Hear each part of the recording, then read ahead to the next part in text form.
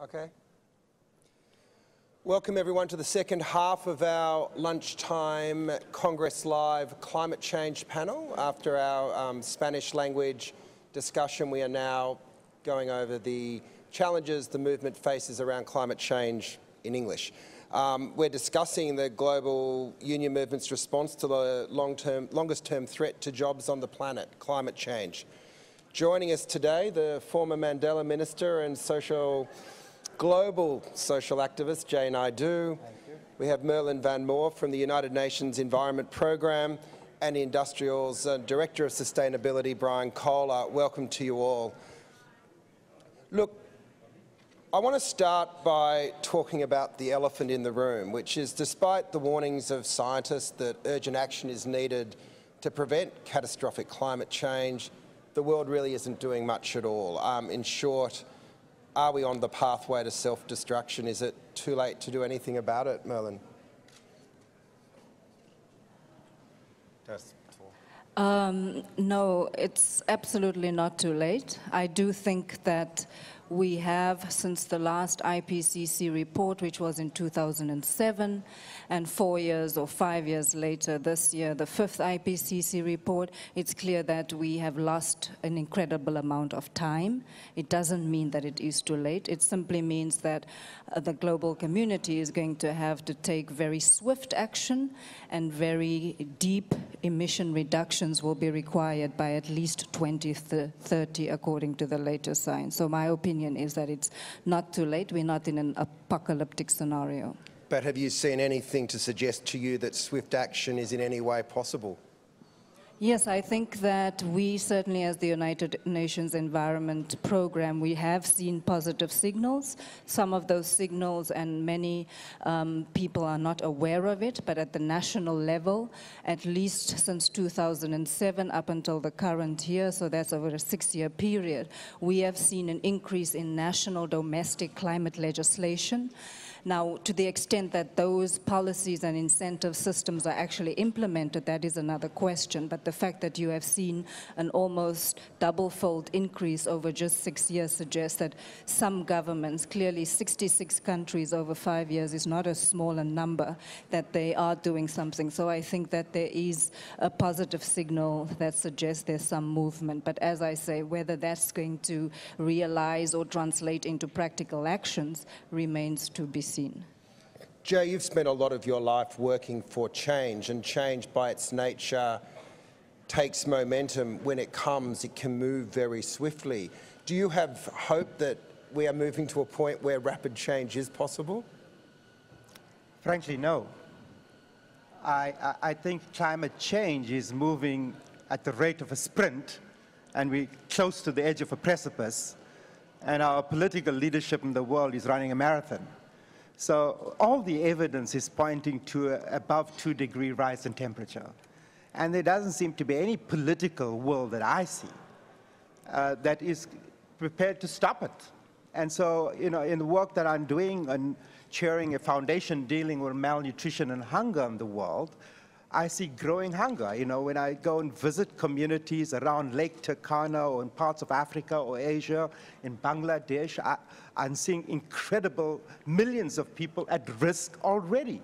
In Turkana, there are wars starting over water and over grazing land in the whole of the you know, whole of uh, the Horn of Africa can be linked directly to its, the impact of climate change in causing wars that we are seeing today, and that's starting across the rest of Africa. We know for as a fact that the climate change and one degree rise in temperature is going to plummet the agricultural yields of staple foods. We know it's going to cause dramatic increases in food prices of basic staple foods.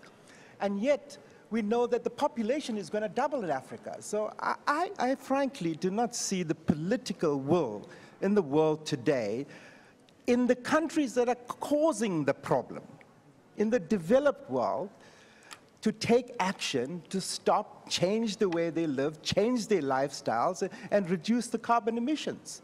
So we are at risk because of things that we have no responsibility for. Brian, you um, representing workers in industrial industries worldwide, would know that the short-term fear of change is a real resistance to action. Uh, is it an insurmountable barrier in your opinion? Sustainability is defined as looking after the social, environmental, and economic imperatives simultaneously, and that's really the key to getting past the fear that you've mentioned. There are no jobs on a dead planet. We know this. That's clear. However, if you want workers and their unions to make radical changes to what they're doing today, you must be able to tell them what they will be doing tomorrow. And it had better sound good to them, not just to the Waltons and the Koch brothers. It has to sound good to workers, and that is the concept we call a just transition. So just transition is the key that unlocks the door to a sustainable future. And the sequence is important. Society has to get its head around this concept of a just transition and really construct how they're going to deliver it. And then the fear of making radical changes will be largely eradicated and we will be able to make rapid progress that's needed. Merlyn, this notion of just transition um, is something that's emerged from civil society. Is that something that the UN has been embracing and working towards and I guess placing some flesh on the bone around? Um, I think for most of us who have followed the evolution of um, the UN's Framework Convention on Climate Change is familiar with the fact that one of the first principles of the convention is about this notion of justice and it is enshrined in the common language called common but differentiated um, responsibilities and respective capabilities. So within that particular principle, there is a recognition that in order to address climate change, you have to take into account notions of fairness and equity. However, I think the challenge going forward towards a new global climate agreement is the extent to which one operationalizes which those principles, and that has not happened clearly, which I think why your point is so crucially important and why the work done by the Mary Robinson Foundation, for example, has been extremely crucial and also the work that, um, that, that, that Jay has done.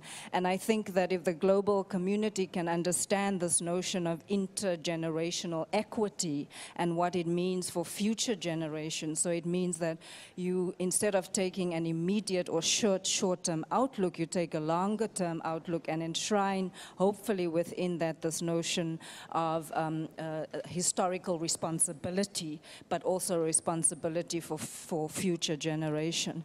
And I think the issue of justice is also extremely linked um, to the issue of particularly women and so I think the issue of gender is an important um, principle that has to go alongside um, the issue of justice. And obviously women, particularly women in small or poorer communities. But so I think we still have a long way to go to make this principle, which is documented within the convention, how to translate that into um, reality. Mm. Jay, um, th that challenge is, is very real and it in a, in a way, that notion of justice is potentially the glue that ties the union movement with broader NGOs. And obviously your presence here at, at the Congress is, is part of that, that reaching out. Yeah, so absolutely. You know, I was the founding general secretary of COSATU, you know, the largest trade union in the history of South Africa. And, and, and, and certainly our struggle was about human dignity and, and justice. And it still remains the, the, the mission that we have to accomplish in climate change.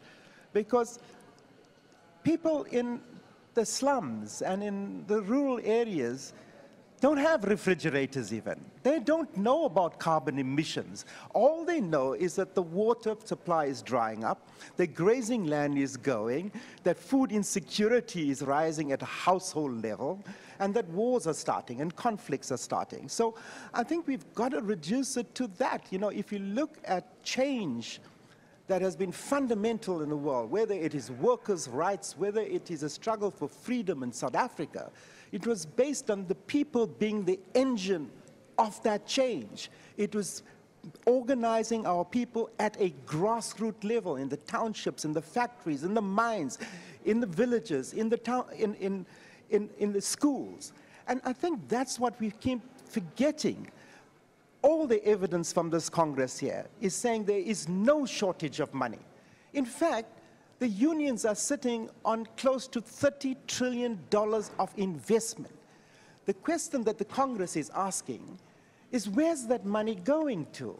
Is it going into the real economy? Because I was the Minister of Communication in South Africa.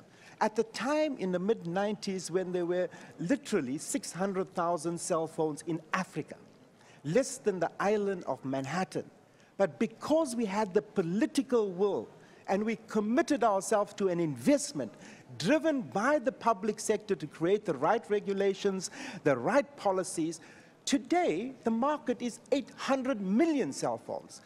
Can we have the same political will? And the question that we have to ask, can we have the people, the organized labor, working with the other parts of civil society now banging on the doors of those who are negotiating, who are today responding more to the pressure of the Koch brothers, of that 1% that today the 85 people that control more wealth than half of humanity, three and a half billion, unless the unions take leadership on this issue and demand the type of jobs, I see tremendous jobs coming out of proper investment going into the green economy.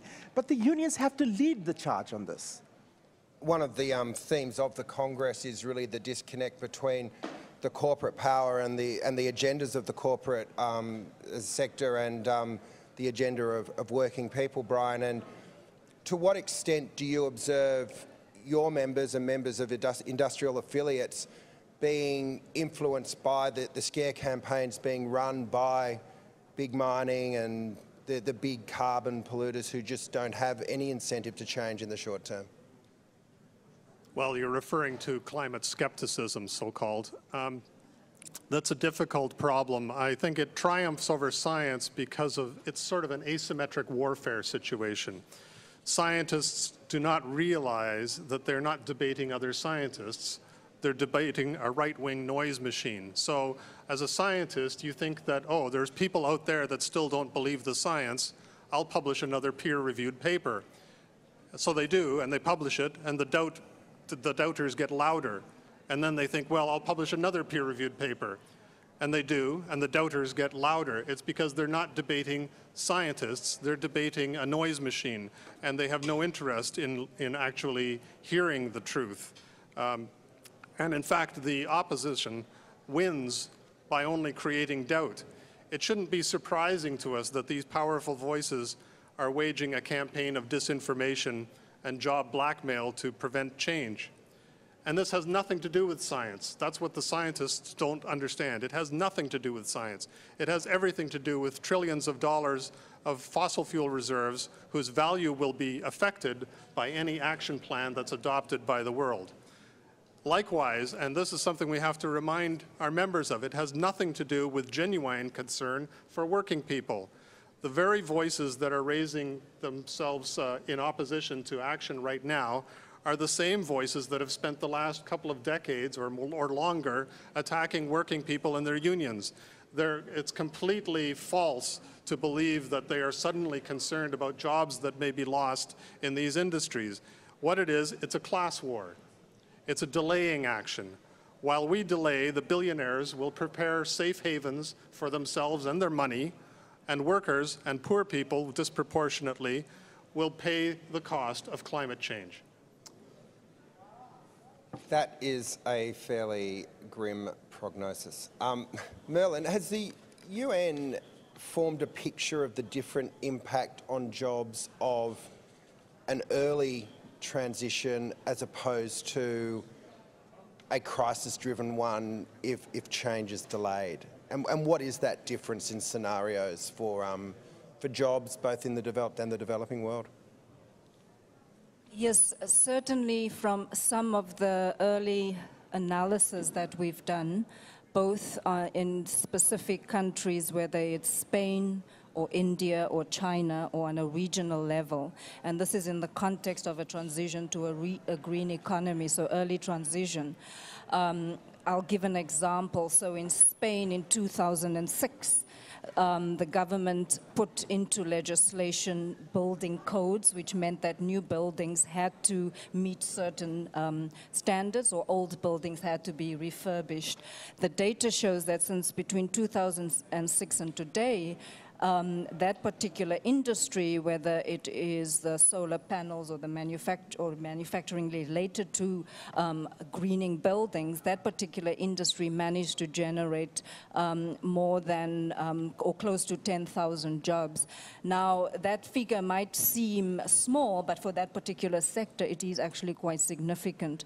And some of, we have similar data in countries such as India, where as well as in um, parts of the European Union where we are today, where we can show that um, uh, industries such as solar and wind, which probably was worth a few billion five years ago, has actually tripled. And I think that that is significant if you think about the fact that solar and wind as renewable sources of energy is still managing to generate jobs when it is in effect competing against a subsidized industry, which is fossil fuels, which has been there for a much longer time. It's not a young industry such as renewables. And so I think that kind of growth that we're seeing, both in terms of jobs there, it, it is significant. And we have to take some degree of, I, I think, a positive signal from that. It would be a brave government, however, that would take on the fossil fuel industry, wouldn't it, Jay? I- Oh, in, in my country, Australia, the, the, the last Labor government tried to take them on and they, They lost are election. no longer a government, yes. No, I, I think absolutely. But what did the ITUC survey show of workers? There are very few workers or citizens who trust their governments because corporate power has captured elections. Look at the amount of money going into election campaigns and the lack of transparency about where that campaign finance is going.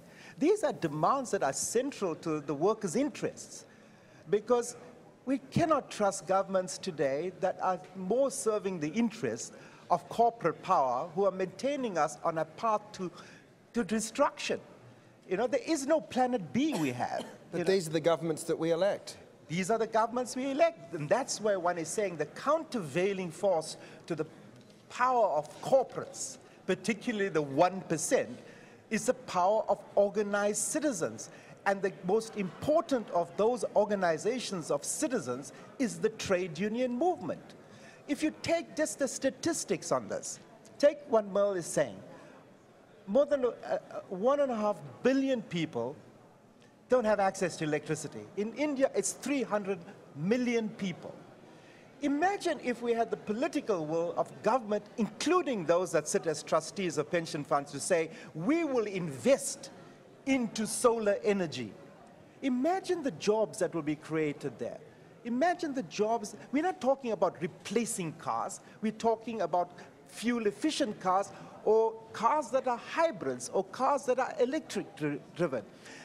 This is about investment in innovation. If you look at these cell phones, how innovation is changing these devices every nine months.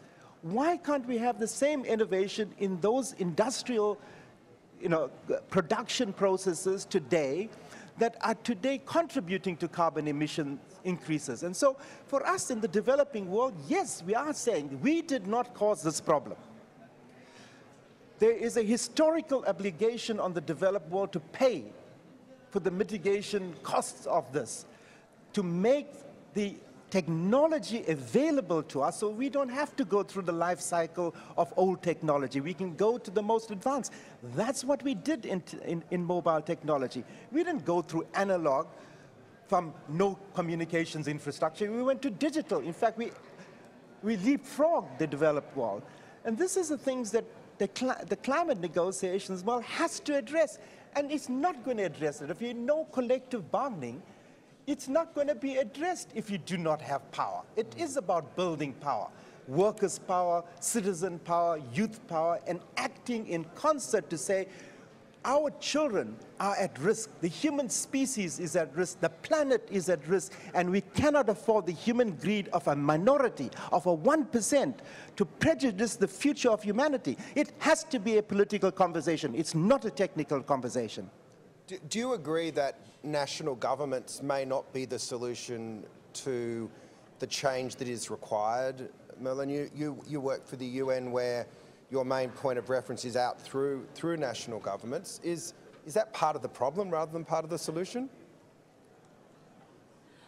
I mean, all national governments have a role to play because they make um, decisions, important policy decisions, and governments have those tools to either regulate or tax so that fossil fuels stay in the ground. Now, as Jay says, that's a tool that you have as a national government.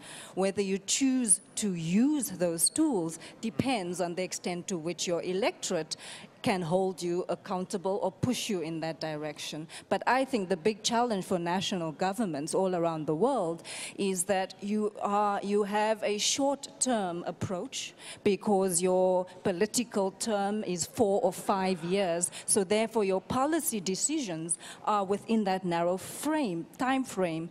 Whereas if you're talking about setting a target for 2030, which is beyond, I think, most people's immediate grasp, let alone a politician's.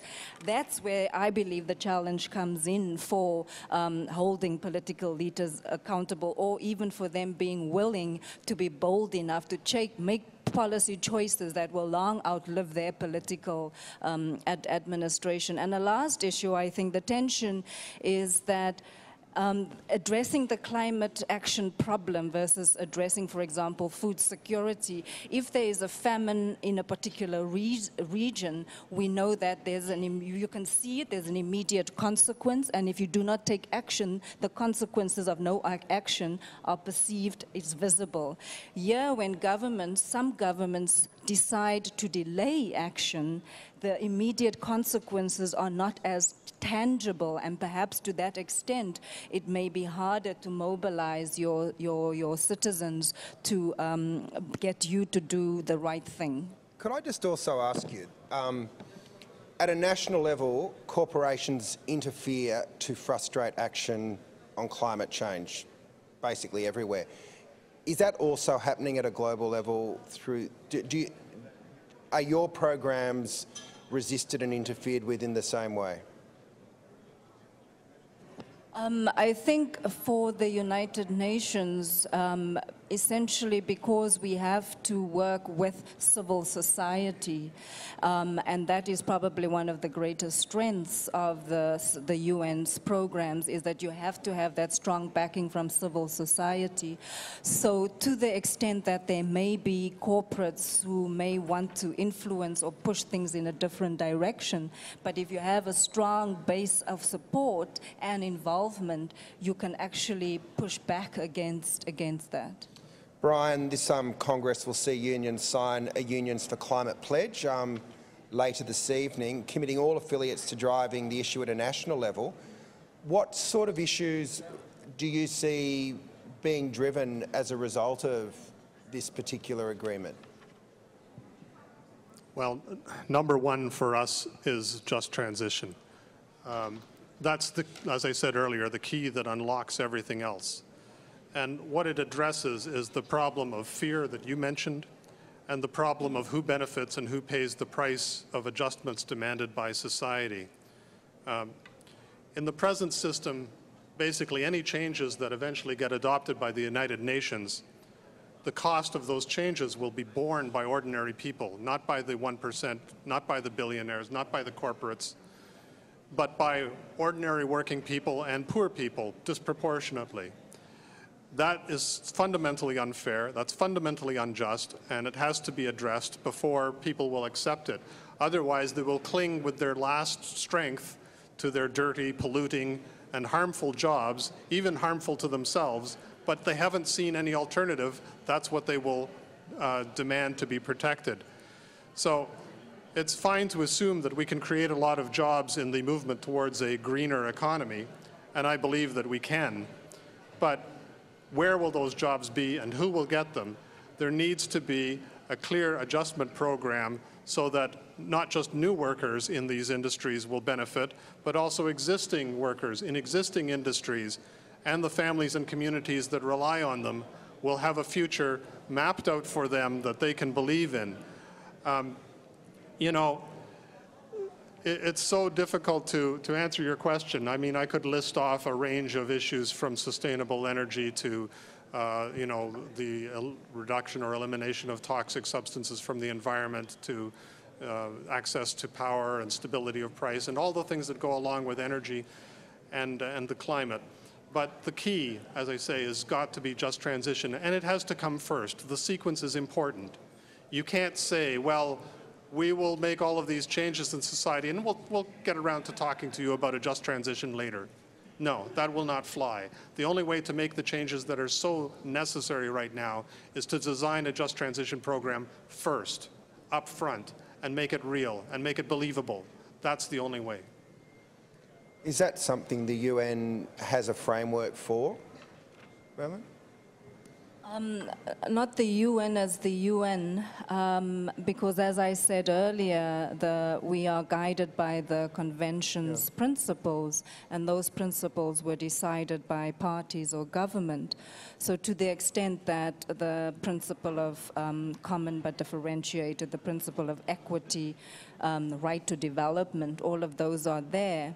Um, to the extent that those are there and that can guide s- some of what Brian is talking about. So, this notion of a, a just transition, which needs to be started now rather than mm. afterwards. I think that the, the, the, the principles are there and the tools are there, but it will depend on to the extent to which citizens can drive their governments to, to, to, to do that at the, at the global level.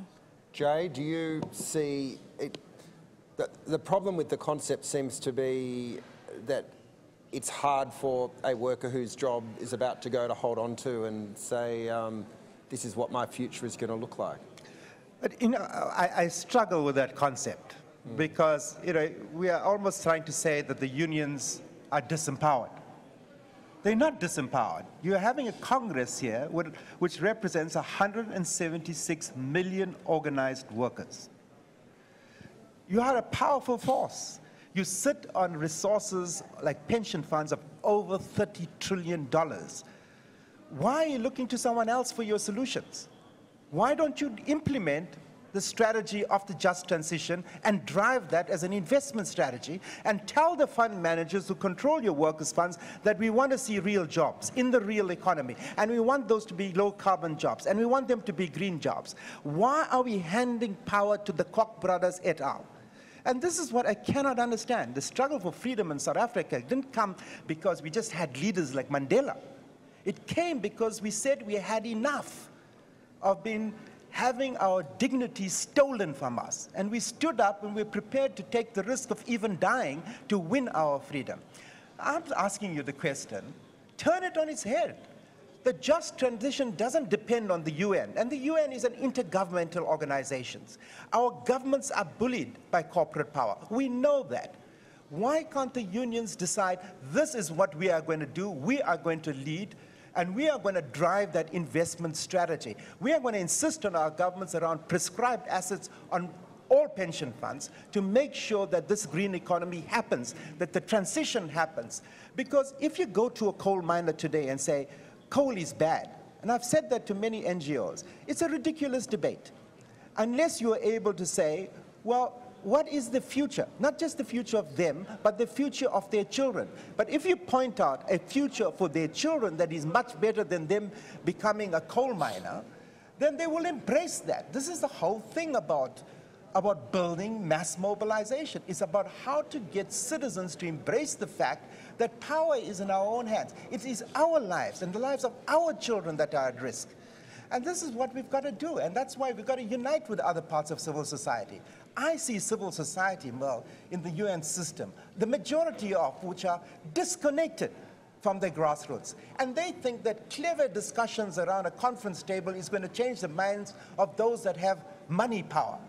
It's never going to change their minds until we bring real power in the streets, real power through the unions, real power through NGOs and communities of, of farmers, of informal traders, of people in the squatter camps, of people in the rural areas that are suffering the consequences today. When I'm in Bangladesh, there are millions of people that are at risk today. It's not about tomorrow, it's not about 2030.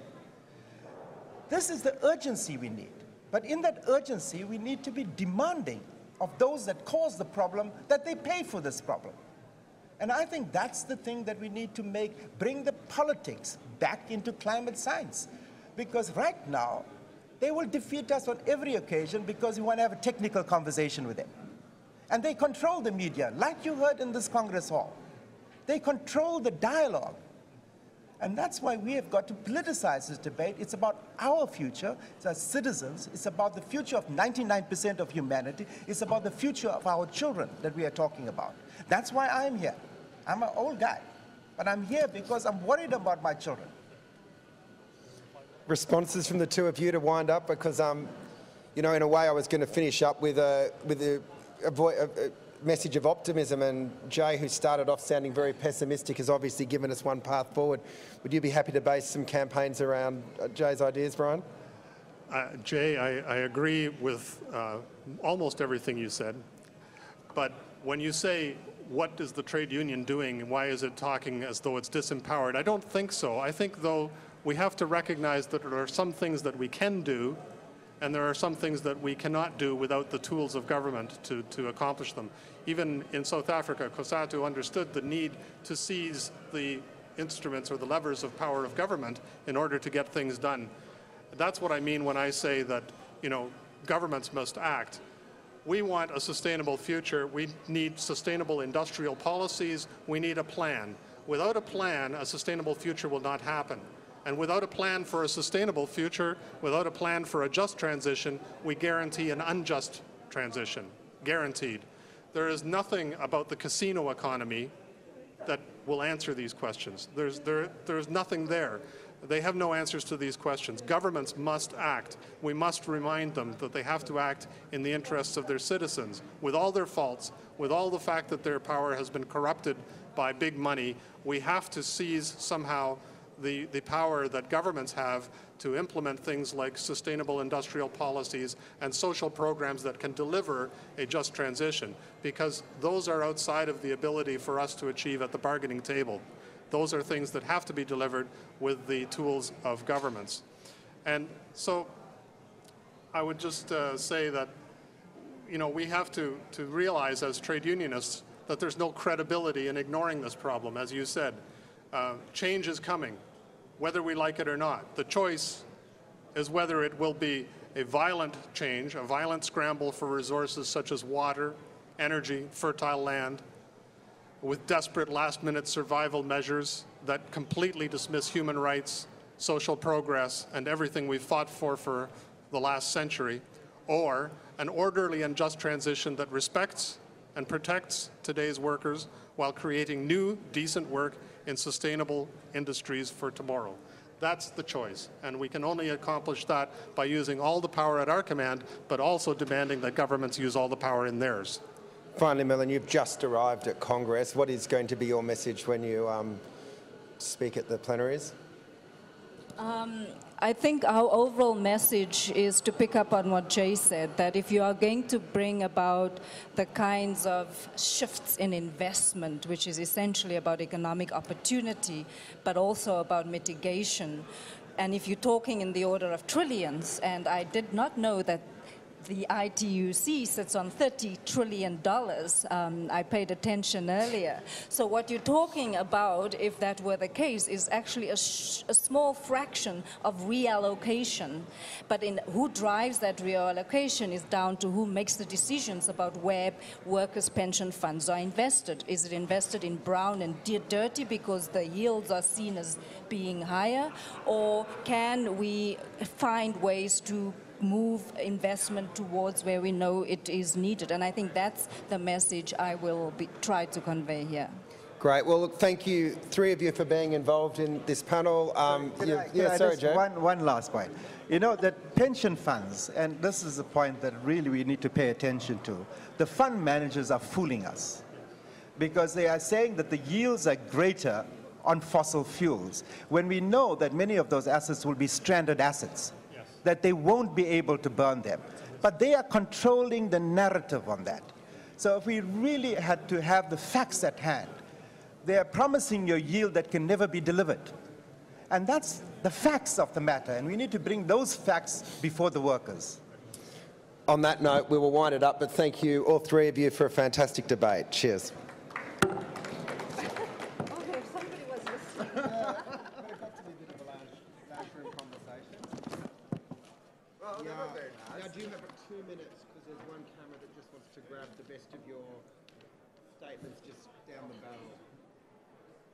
I know you. That's great. I'm not going to.